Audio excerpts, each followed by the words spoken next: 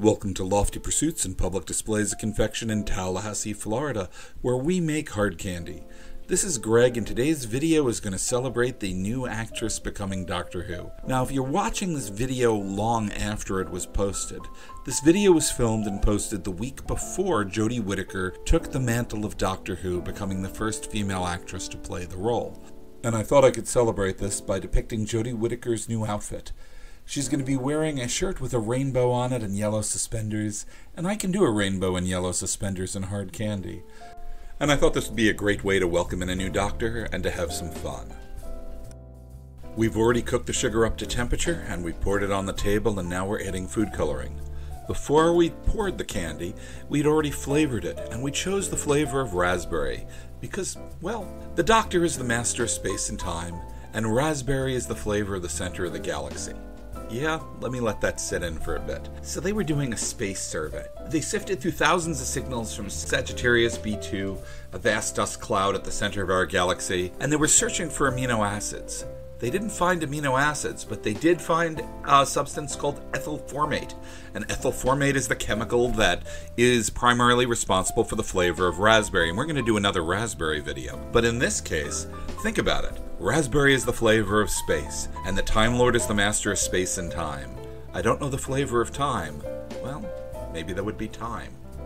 But in any event, we're going to do raspberry for the flavor of this candy. We've added red, blue, green, yellow, and black to the hot sugar. We boiled off the water, and we're going to cut it apart into pieces. We're also leaving a spot uncolored that will become white. We're going to be doing this because this rainbow is more complicated than you think. We're going to be gaining some of the colors directly from the food coloring. On the hot table as opposed to the cold table we're on now, we're going to be mixing a couple of colors together to make another stripe. And on top of that, we're counting on your eyes to blend the colors and make this rainbow match the shirt fairly closely in your own mind. That's what candy's about a lot of times, tricking you into seeing what you think you see, and playing on the touchstones of our mind. It's sort of like a tastier version of Doctor Who's psychic paper.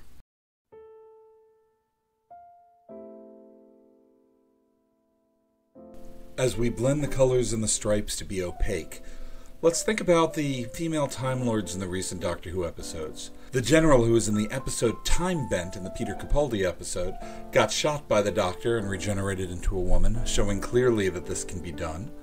And before that, of course, the Master had come back as Missy, the uh, evil Time Lady, I guess. And both of these are in modern history, but if we go back to the old series, there are a lot more female Time Lords. It's always been tricky to refer to Doctor Who in the correct tense, past, future, present, because time travel kind of makes that pointless. And now we have the gender issue also, so for convenience, I'm just going to refer to the Doctor in the gender he was in when the episode that I'm talking about was aired.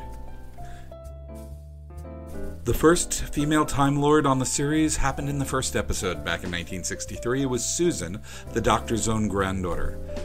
The series started with the Doctor traveling with his granddaughter until they parted ways. Since then, he's had no family on board.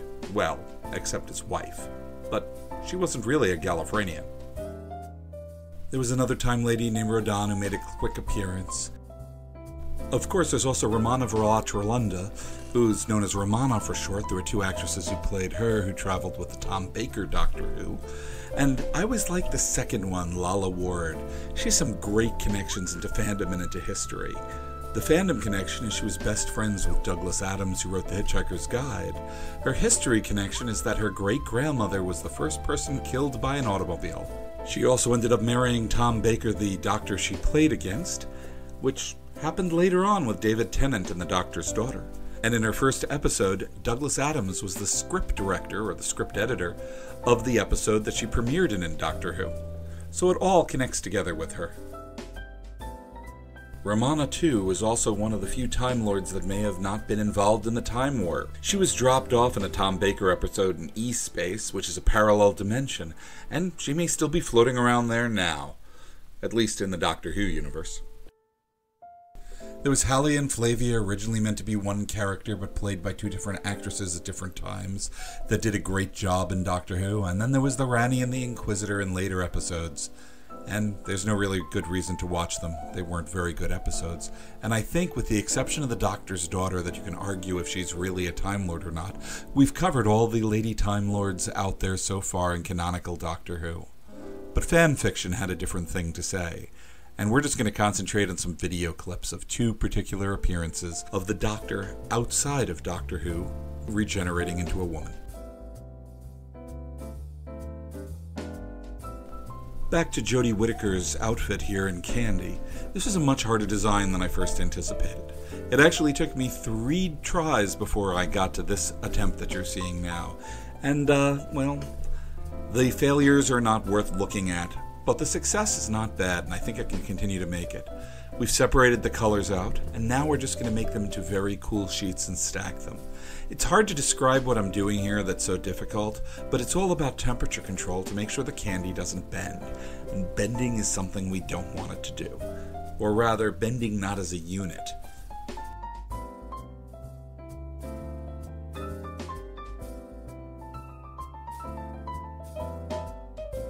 One of my regular requests is to show more of different parts of the candy making. So this video is going to show you more of the pulling and the assembly, and I sped up other parts of it like the cutting and the stirring. And we'll switch it around in another video or two. We're going to try to make everybody happy, but we can't do it all in the same video easily. If you'd like to try this candy for yourself or any of our other candies, just head over to www.pd.net. You can check out our full candy selection online. And if you're ever in Tallahassee, come and visit us. We're right off the Thomasville Road exit of I 10. We're just about five minutes from the exit. And we're open from 7 a.m. to 10 p.m. We make candy most days, but not all of the time we're open. Heck, we're open 15 hours a day. And you can come and hopefully see us. We don't have a regular schedule, but if you're lucky, you can catch us making candy. Otherwise, you can just visit the store, enjoy breakfast, shop for some toys, try our ice cream, and of course, buy some candy.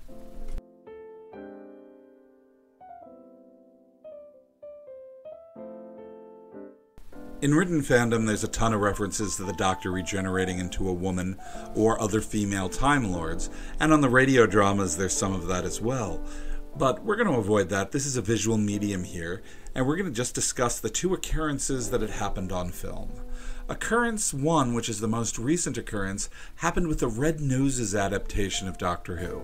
If you're not familiar, Red Noses is a comic relief fundraiser and they made a Doctor Who episode for charity starring Rowan Atkinson, and he regenerated a ton of times during this short, and then the last regeneration was into Patsy from Absolutely Fabulous.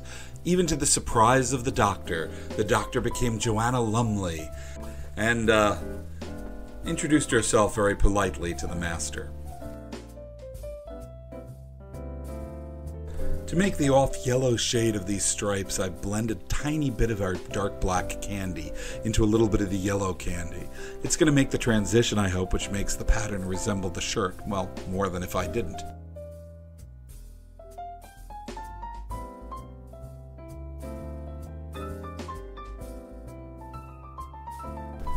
First reference I can find of people talking about Doctor Who regenerating into a woman was back in 1979, and it came out of the mouth of Tom Baker, the fourth Doctor to play the role, and he was talking about a woman possibly being his successor.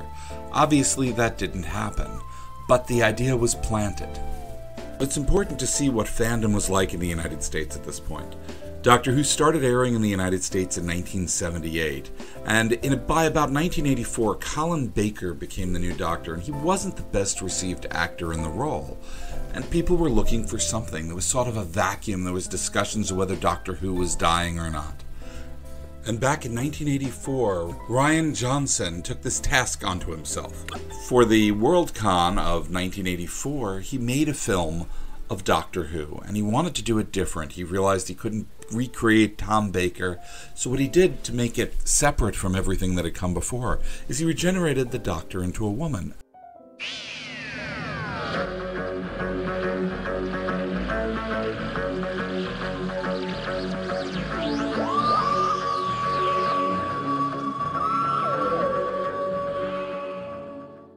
In 1984, Seattle Films released The Wrath of Eukor, starring Barbara Benedetti. She ended up taking over the role and she was a professional actress, and this made this different than other fan films of the time. She actually had formal training, actually, just about everybody on screen did. Often these series seem like, you know, kids playing, and this wasn't it. This was a real show. Money was put into special effects. It was filmed on 16mm film, not on the very primitive videotape recorders, which were terrible back in the day. It had microphone crews. It was actually a professional production. If you look back to the middle Tom Baker episodes when they were running out of money, you can see the quality wasn't that far off from the real Doctor Who episodes. And this was made for a Worldcon film competition. Didn't do well there, but it's been kicking around for years, increasing in popularity. If you like the old Doctor Who's, you might like this series. If you don't like the old Doctor Who's, well, we're still going to make really great tasting raspberry candy to celebrate Jodie Whittaker getting the title role in Doctor Who. Barbara Benedetti passed away in 1991, leaving a legacy as one of the most unsung heroes in Doctor Who. She did pave a new way for people to look at things back in the early 80s. But we should really remember these episodes were good, maybe not by today's standards, but in comparison to the episodes that were being aired at the time in the United States, the special effects and the acting were pretty decent. Well, I really couldn't say.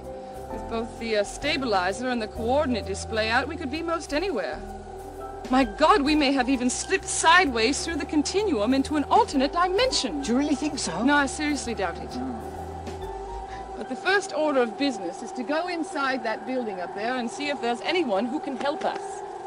Well, now, wait a minute, Doctor. I mean, well, you think that's wise? I mean, we don't know who or what's inside there. Well, it's never stopped me before. And Barbara Benedetti's portrayal of Doctor Who captures the spirit of the Doctor, and a lot of fan films miss that. And I'm going to leave some links in the description here to the various bits of information I found about the raspberry flavor of space, and of course the Barbara Benedetti versions of Doctor Who. Now that we've built the log of candy, we have to scale it down to rods, and we do this on our batch roller. This batch roller was made somewhere between 1895 and 1910, which is kind of cool, considering that the companion of Barbara Benedetti was a late 1800s chimney sweep from London. Yeah, I'm stretching to make a connection, but heck, it's what I got. And in the end of this video and in the description, we'll also give you a link to our other video about us making police box candy and talking about some experiences in early Doctor Who conventions. The stripes and the suspenders are now visible all the way down these rods of candy.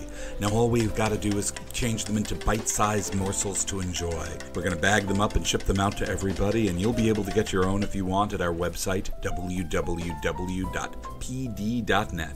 We want to thank you for watching our video, and if you like it, we have a lot more here on YouTube. Just go and check them out and subscribe to us here and turn on alerts here on YouTube. You can also follow us on Facebook, Twitter, and Instagram, and you'll find us having lots of interesting constant posts about our ice cream and our candy there as well. Thank you for watching. If you ever make it to Tallahassee, we're right off I-10 on the Thomasville Road exit. We're open from 7 a.m. starting for breakfast, and we close at 10 p.m. serving ice cream. Come on in, we'd love to see you, and perhaps you'll be lucky enough to see us make some candy. Thank you for watching, and we'll see you in the next video.